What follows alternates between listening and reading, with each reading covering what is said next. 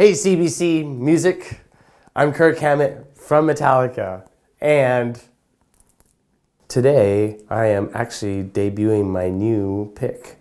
Usually my guitar picks are lime green, but today I have a black pick with metallic flake in it. I got these because I like metallic flake, but if I drop these on stage, I'm because I can't, I won't be able to see them. Dunlop made these, these picks but it's my own style.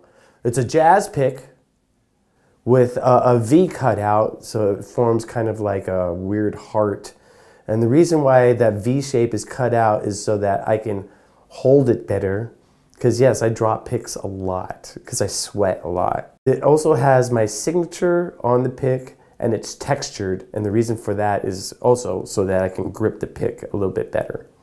Completely changed my guitar style completely changed how I play, completely changed how I pick. This little pick thing right here was like the best thing to happen to my playing.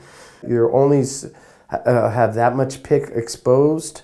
It's a, a smaller range of motion, so I can get more notes in. It's harder, so when I strum, uh, you know, all the all the notes ring out better uh, with chords, and um, when that, you know, because I've I cut out that V, when I invert it and like do pick slides and whatever, the crazy stuff on the neck, I can make all sorts of crazy sounds as well. So, I mean, the, that, that V shape actually has some functionality to it too. And um, yeah, I love this pick.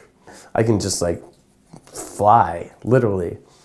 And yeah, I, you know, I, I need a pick that's none more black.